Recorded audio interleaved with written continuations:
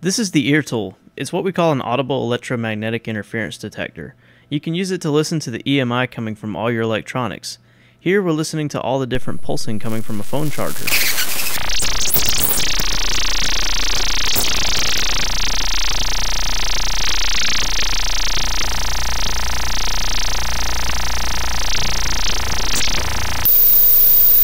Now listen to what quick charge sounds like.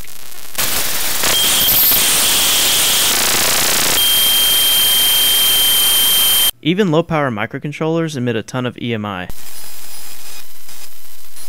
It's very fascinating to hear the different feedback coming from the controller when moving a mouse cursor or using a scroll wheel. We mainly designed the ear tool to help us fix computers, phones, and TVs. For example, we can use this to tell if a CPU or microcontroller is doing any processing, or if it's just sitting there burning up or turning on and off rapidly.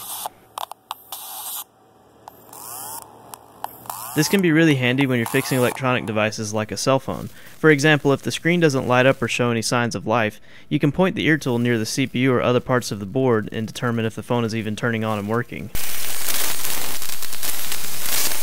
Cell phones have several systems running that make the phone work. Using this tool you can hear all of that interference, and it changes depending on what you're doing on the phone. While an inductor sensor isn't a microphone and cannot pick up any ambient sound, it can pick up the interference the voice coil of the speaker creates and amplify it. We have another landing. This is the fourth landing of this vehicle. Even the vibration motor in the phone is also picked up by the tool. A drill motor creates a ton of interference, and the ear tool barely needs to come close before you can hear the noise from the motor in the controller.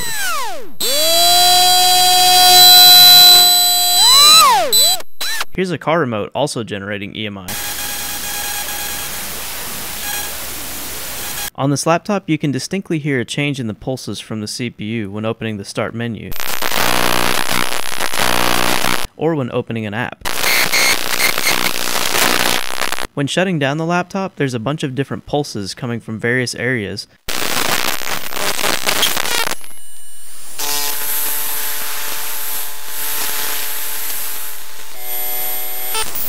and when the computer shuts completely off, then it's dead silent. This could be very useful to tell if a device is truly off, or if it might still be partially on and transmitting wireless data. This is our beacon that Google sent us a year after we opened our store.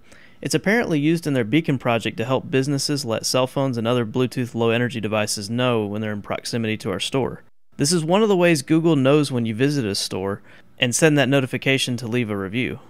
I never knew this thing was still working two years later until I probed it with the ear tool and heard a faint clicking sound from the device.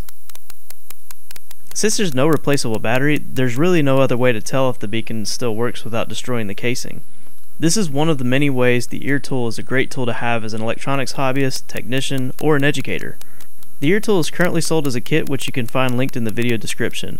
Also the tool is completely open source, which means you can download the original schematics with a full list of the parts and where you can buy them to build it yourself. Now let's get into building the ear tool. Again, all the parts used are linked to a GitHub page in the video description. Starting on the back side of the board, we'll add solder to the left pads for each of the surface mount components. Then we'll solder the left side of the components to the left pads.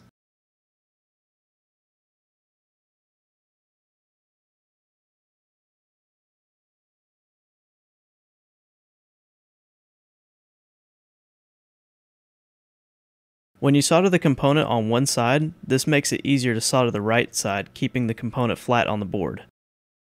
With the surface mount components installed, we'll begin soldering the through-hole components. One method to keep the components from falling off when flipping the board over is to bend the solder wire over the top of the board and hold the component with your finger while pushing the board into the area you're trying to solder. I do this with the first pin, that way the component is in place and I can solder the rest of the pins.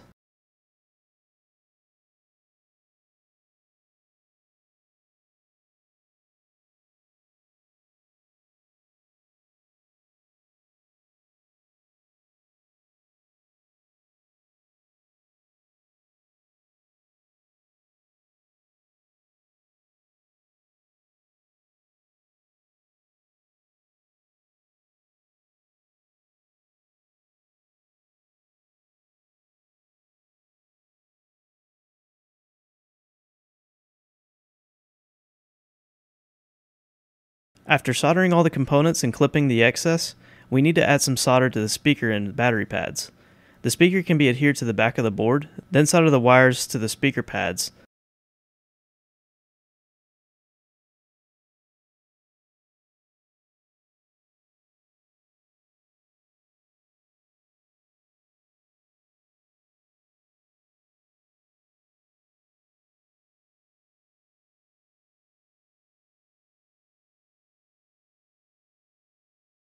And then the 9 volt battery clip can be soldered to the battery pads.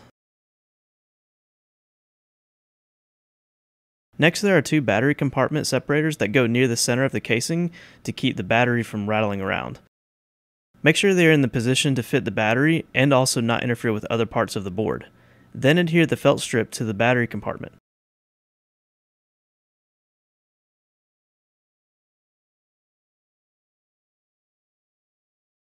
And finally connect the inductor to the terminals connector using a screwdriver. It's always a good idea to test the tool before assembling it into the enclosure. Insert the four screws and you're done. The top piece that came with the enclosure is not needed for this project. We hope you found this project interesting and helpful, and if you've built one yourself, please make sure to take pictures of it and post it on Twitter at Harbin Repairs. Thanks for watching.